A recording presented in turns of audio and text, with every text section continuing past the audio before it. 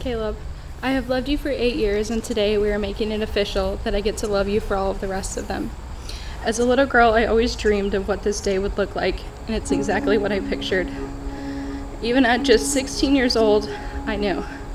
I knew that it was you that I wanted to be standing up here with. I always knew. I wish I could go back and tell my younger self that all the things that brought us together were not just coincidences. There are no coincidences in life. Every step brought us to this moment right now. The way that our lives have beautifully intertwined with our family and friends is indescribable. Together, we have hit so many of life's milestones, and I can't wait to reach the rest of them. Growing up with you has been the greatest honor, and now I promise to keep growing with you.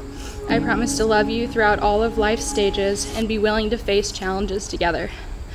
I promise to love you with all that I have in the only way I know how, completely and forever. Thank you for always being you. It's all I've ever needed. I love you. Honey, I love you like the real thing. With your wrinkles and your scars. You don't have to hide them. To be honest with you, everybody's like, oh, when I met my best friend, they had this characteristic that was amazing. Um, yeah, we rode the bus together. That was our thing. So, but growing up with Haley, I learned that she is the funniest, most loyal, kind-hearted, sweet, confident, and detail-oriented, as you can tell by everything here, person.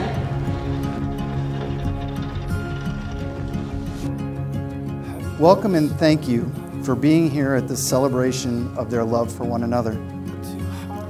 They have asked each of you to witness and celebrate this public declaration of a private commitment that they have already made to one another. Eight years ago, they started their lives' journey together. During this time, they have shared many life experiences. They graduated high school, went to college, started their careers, and bought a home that they now have turned into a home. The couple has chosen to write their own vows. It was Caleb's idea. Caleb and Kayli, you have come to be made husband and wife. Will you face each other and read the vows that you have prepared for each other? I, Caleb, stand here ready to take you, Kayli, to be my wife, my best friend, my lifelong partner.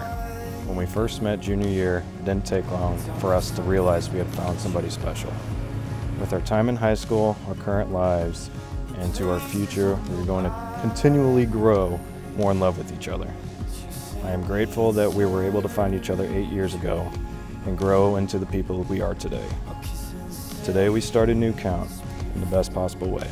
I promise to give you the best future as I can as our life changes and we develop new life roles.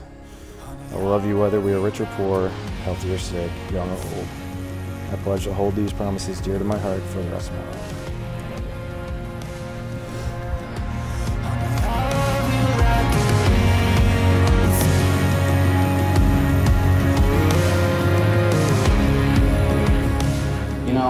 Being able to help Caleb get land his first year was fun and all, but for me, it wasn't the best part of the hunting trip. The best part was the conversations we had by the bonfire night, just talking about life and joking and drinking like we've done in our entire lives. I'm fortunate that I was able to find someone like Caleb to share those kinds of memories. May your marriage always bring glory to God, joy to one another, and blessings to your family and for many generations to come.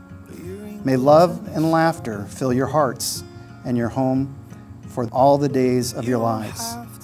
May you face every challenge hand in hand and side by side, knowing that with God's grace, you'll conquer all obstacles together. May the world be forever a better place because of the two of you fell in love. In Jesus' name, amen. Yep. Wait, wait two seconds.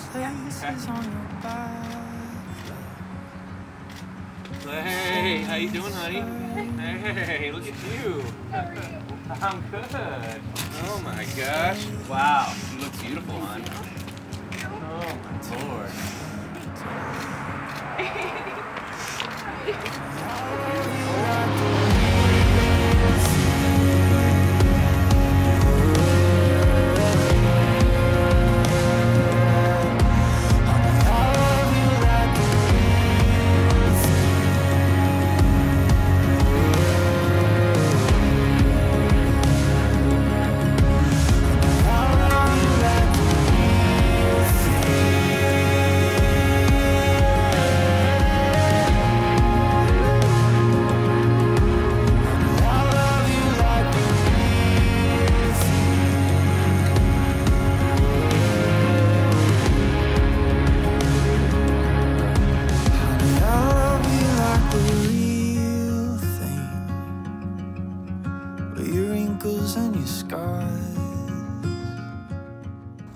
You have come before all of your favorite people and expressed your desire to be husband and wife.